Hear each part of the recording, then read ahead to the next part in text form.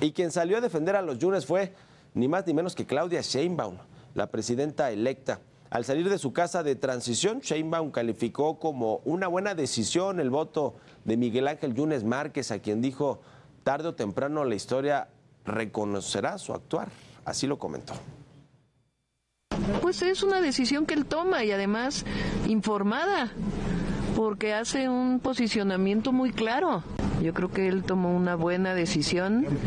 y, la historia se lo va a reconocer. Y bueno, con la aprobación de la reforma al Poder Judicial se prevé que sea este domingo cuando el presidente López Obrador promulgue el decreto para que, entre otras cosas, lo que trae esta reforma, que jueces, magistrados y ministros de la Corte sean electos mediante el voto popular. Por lo que el INE comenzó a organizar ya la primera elección judicial en el país la cual, a decir de Guadalupe Tadei, se realizará en junio del próximo año. Vamos a platicar al ratito con la presidenta del INE sobre pues, la carga que tendrá este instituto, que de por sí, pues de pronto le hace falta presupuesto o eh, le cuesta trabajo organizar las elecciones como sucedió ahora en esta del 2 de junio, digamos por la complejidad que tiene el país y la eh, eh, pues la complejidad para instalar casillas en todos los municipios y distritos electorales. Bueno, pues vendrá ahora esta enorme tarea de organizar elecciones de jueces y magistrados. Y justamente sobre la organización de estas elecciones, la presidenta electa Claudia Sheinbaum explicó cómo se cubrirán los gastos, así lo dijo. Sí, en la reforma está la desaparición de los fideicomisos de esos, no se les olvide, del Poder Judicial, de la Suprema Corte. ¿De cuántos estamos hablando? Eh, creo que son tres fideicomisos, pero lo reviso para tener la certeza. Mientras tanto, el PAN ya prepara una estrategia jurídica para echar atrás la reforma judicial. Noemí Luna, coordinadora del partido en la Cámara de Diputados, adelantó que se trata de diversas acciones jurídicas en contra del dictamen impulsado por el gobierno federal. Estas fueron sus palabras encabezaremos la estrategia legal para tumbar la reforma judicial. Interpondremos juicios de amparo en contra de la aprobación del dictamen en la Cámara de Diputados para impugnarlo. Después, solicitaremos juicios de amparo en contra del dictamen una vez publicado en el Diario Oficial de la Federación, con el objetivo de hacer valer todos los vicios del procedimiento.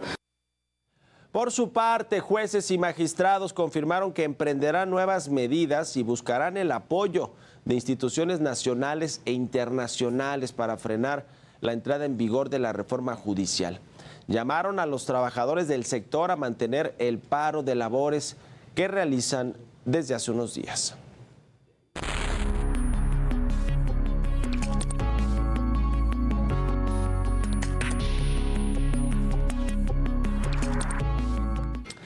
Se aprobó la reforma judicial, falta un Congreso estatal, es prácticamente un trámite para que el presidente López Obrador pueda promulgar, mandar esta reforma constitucional a su publicación en el Diario Oficial de la Federación y luego, ya le decía, en, el, en la celebración del grito de independencia este 15 de septiembre, este domingo, seguramente estará presente viva la reforma al Poder Judicial o una cosa por el estilo, por lo menos lo, lo nombrará, eh, hará, digamos, eh, pues sí, eh, hará alusión a este acto que el, presidente considera pues una de las reformas históricas de su administración.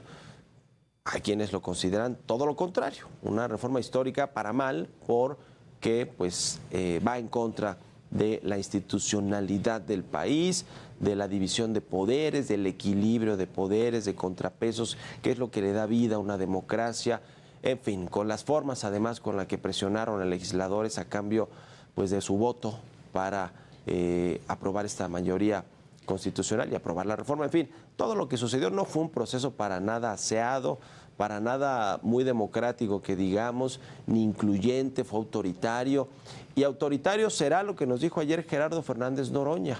que las leyes secundarias, que es donde tienen fincadas las expectativas y las esperanzas, los empresarios, los trabajadores del Poder Judicial, los inversionistas, nuestros socios comerciales, las calificadoras de riesgo, de que van a poderse dar eh, la reglamentación adecuada de los filtros que deben de tener para la elección de los jueces, magistrados y ministros eh, que sean de carrera judicial. Bueno, ayer nos dijo Gerardo Fernández Noroña que no, que no va a haber flexibilidad en este asunto de que sean la mayoría de los cargos eh, de los altos cargos del Poder Judicial, de los que van a ser elegidos por el voto popular, que la mayoría de los candidatos sea de carrera judicial. Pues no, dijo Gerardo Fernández Noroña, no van a poder participar todos los abogados que tengan interés de ser jueces, magistrados o ministros y que va a haber ciertos filtros para que lleguen buenos perfiles, pero pues la realidad es que esta esperanza que tenía la oposición y los trabajadores del Poder Judicial, ya le decía, empresarios, inversionistas, calificadoras, socios comerciales, pues no le van a dar entrada. Todo indica que con la misma dureza, con el mismo autoritarismo que aprobaron la reforma en la Cámara de Diputados y en el Senado, con esa misma, con ese talante de rudeza eh, contra la oposición que representa de los que fueron a votar 22.5 millones de mexicanos,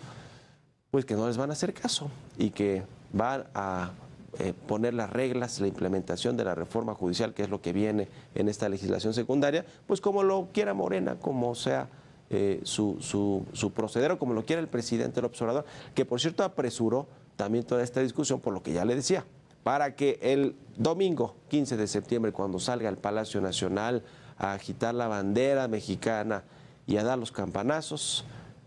pues pueda decir que viva la reforma del Poder Judicial de la Federación de la 4T.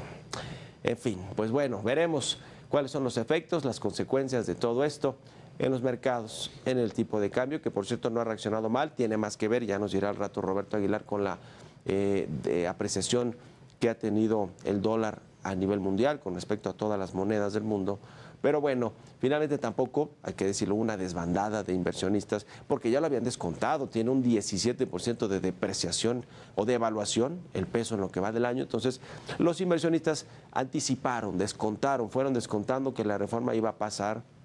El problema es que más allá de que se vayan las inversiones que pues, los empresarios que tienen inversiones físicas, plantas, eh, fábricas, líneas de producción, tiendas, etcétera, pues no van a agarrar sus cosas y se las van a llevar a otro lado, porque además el país no se va a acabar con la reforma judicial claramente. Lo que sí va a suceder es que la nueva inversión que se tenía proyectada para México, pues probablemente ya no llegue.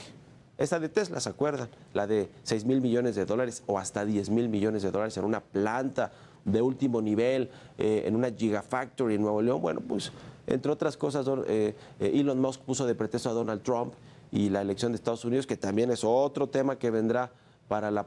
próxima presidenta electa, bueno, para la presidenta constitucional que será Claudia Sheinbaum a partir del primero de octubre,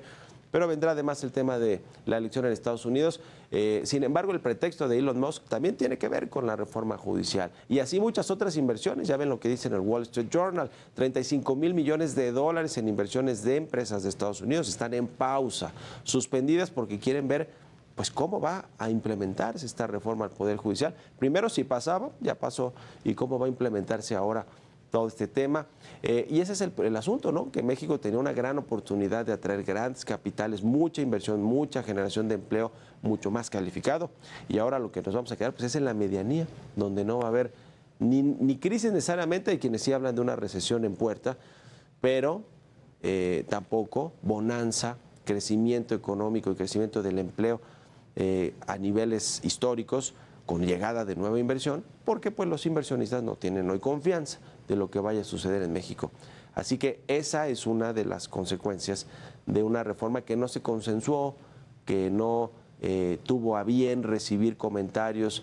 y eh, ajustarlos en la iniciativa o en el, en el dictamen de los empresarios, de los inversionistas, de quienes pues tienen su derecho claramente a posicionarse sobre una reforma de este calado, de este tipo, de este tamaño que es tan importante para México. ¿Por qué? Pues porque Estados Unidos tiene empresas que tienen inversiones en México y por supuesto que les interesa que se cumpla con el Estado de Derecho, con sus contratos, con las leyes y eso para, eh, y la reforma judicial para estos inversionistas no les da esa certidumbre. Tienen la, eh, digamos, la voz para poder pronunciarse al respecto aunque no le gusta al presidente el observador. En fin, ya iremos viendo poco a poco las consecuencias y los efectos de esta reforma al Poder Judicial.